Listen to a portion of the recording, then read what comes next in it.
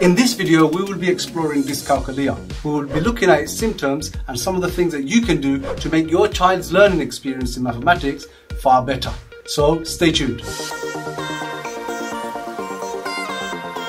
So what is dyscalculia? Dyscalculia is an individual's ability to learn number concepts and anything relating to mathematics. It hinders a person's ability to perform accurate mathematical calculations and use logical reasoning and solve mathematical problems. It is sometimes known as number dyslexia or maths dyslexia. Dyscalculia definitions and diagnosis are still in its early infancy stages. However, it is said that 25% of the population have some sort of mathematical learning difficulty. This prevents them from successfully progressing in schools, further education and jobs. This learning disorder can affect all aspects of life, such as counting money, telling the time, or even performing simple maths problems, resulting in students with dyscalculia finding maths difficult and just not wanting to learn. What are some of the signs and symptoms that you can look out for of signs of dyscalculia? Well, it affects people differently depending on at what stage of their life they are. Younger primary school students may find it difficult when they're doing counting. They may skip numbers, for example, when they are counting backwards. They may have trouble relating numbers to real life quantity. For example,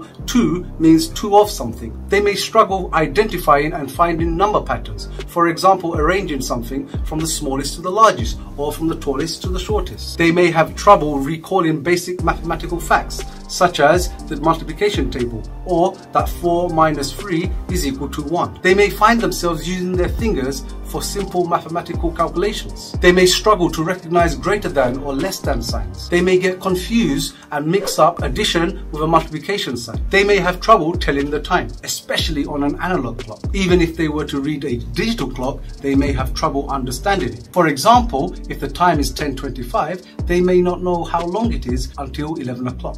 Secondary school students, on the other hand, go on and learn new techniques, new concepts. For example, percentages, number, ratio, area, and they may come across new problems. They may find difficulty in applying simple maths into everyday and real life problems. They may have trouble comparing two amounts. They may get confused with their left and right direction and often they will find topics such as bearing very, very difficult. They may not understand graphs and gradients. They may have trouble understanding the estimation of distances and speeds. Now I'm going to share with you some of the things that you can do to help students with dyscalculia. So how do we help someone with dyscalculia? You could use a structured approach such as scaffolding. Scaffolding is a technique that we use in maths that can break down a bigger question into smaller chunks.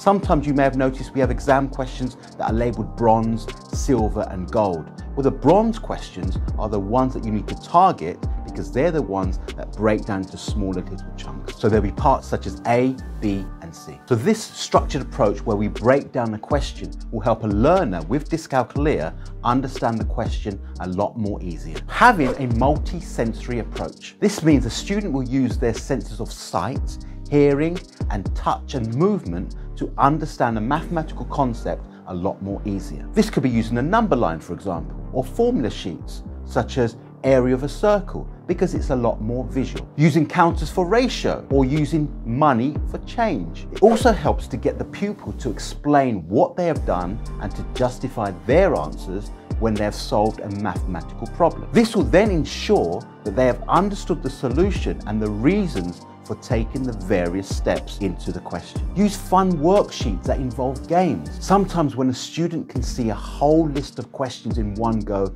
this can be quite intimidating. So one way would be to block out all the questions and slowly unveil each question one at a time and that way that will solve some form of anxiety for that student. When learning new materials and new topics, it is helpful to understand the core mechanics and skills before you address the worded problems. Start with the smaller questions before you start leading on to the harder questions. Underline key words and highlighting important parts of the question. This will help key parts of the question pop out and the students to visualize a lot more easier. For example, when collecting like terms in an algebraic expression, drawing diagrams and labeling. This is very helpful in topics such as trigonometry or Pythagoras. This is highly encouraged to do if you want to better understand and solve the maths problem. Showing and emphasizing key concepts in your working out is also very, very helpful for a student. For example, if you refer to the videos on solving linear algebraic equations, you'll see using visuals such as arrows or brackets along the side explaining what's happening in each step. I hope these tips help someone out there with dyscalculia with their learning experiences and make their mathematics journey more enjoyable. If you like this video, please give it a thumbs up and consider subscribing for more videos like this and of course, free maths lessons. Goodbye for now and see you in the next video.